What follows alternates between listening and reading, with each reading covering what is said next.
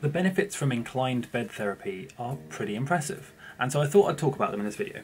Now, inclined bed therapy essentially is where you raise the head of your bed by four to six inches, and you just sleep.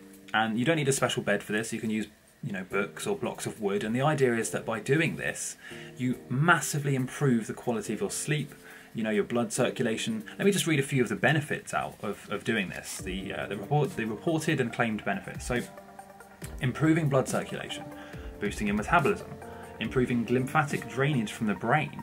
That's quite impressive. Improving immune system, uh, improved respiratory function, and easing symptoms associated with Alzheimer's, diabetes, glaucoma, migraine, sleep apnea, acid reflux, varicose veins, and more. Now, now that is a pretty impressive list of benefits that you can get just by putting a few books under your bed. So does it really work? Well, firstly, let me just show you how it would, how you would do it.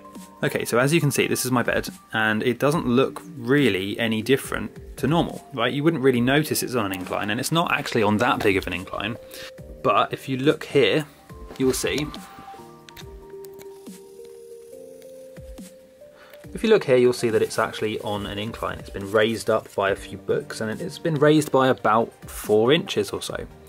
And what I found is that this does make a difference to how I feel when I sleep. If you've got a bed like mine, you'll also have like a central pillar. I don't know if you can see that right over there. Uh, and this central pillar is to support the weight from the middle of the bed. Now, now what you'll also need to do is to put a few books underneath that because otherwise the weight from uh, as you sleep on the bed is going to crush the middle part and it might even break the bed. So you need to make sure that the weight is balanced between the books at the head of the bed and also the middle part if you've got a double bed like this. So that's how you would do it. That's how you would have an inclined bed or you know how you do IBT, the therapy. And the idea is that it improves all of these things by gravity. The idea is that gravity will improve your blood circulation. It helps your digestion because the food flows down through you as opposed to laying flat and you know giving acid reflux and things. It's fairly simple when you think about it like that. Uh, you know, it's basic physics. You know, liquid or water will always find a level.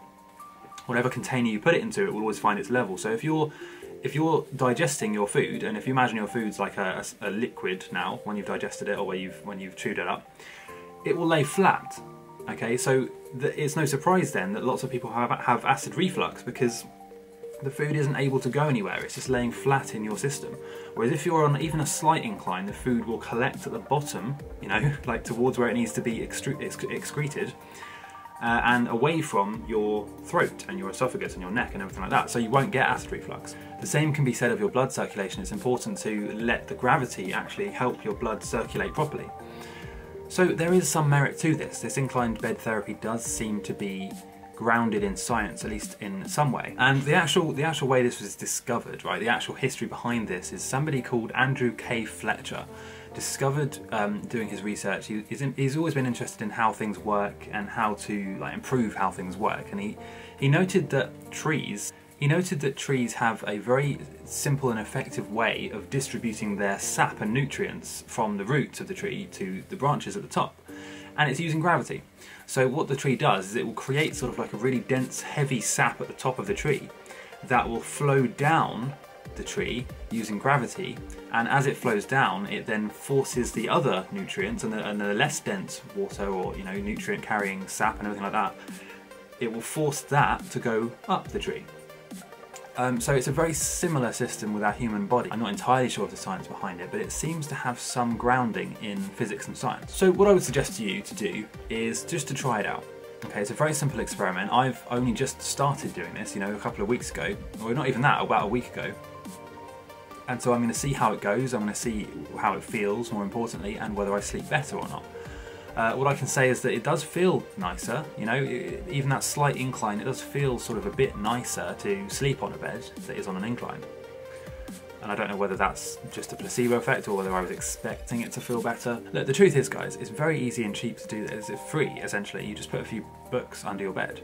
So go ahead and try it. Let me know what you think. Leave a comment letting me know whether you think it's a good idea. Uh, and this video actually was inspired by a comment from somebody. So, so one of you said, uh, have you tried incline bed therapy? And I said, no, I haven't, so I'll try it now. So leave a comment letting me know. Let me know also like if you want me to try anything else, any new ideas or things that you want me to research or have a look at. And I'll see you next time. Thanks for watching guys. This video and this channel was supported by my Patreon followers. Please consider giving just a dollar a month to support this channel or just click the links in the description. You'll find links to various Lucid Dreaming products, articles, techniques and tutorials. If you did enjoy this video, please click the notification bell and subscribe and I'll see you next time. Why are you still watching this? You should have clicked one of my related videos by now, right? Or subscribed or gone onto my website or something like that.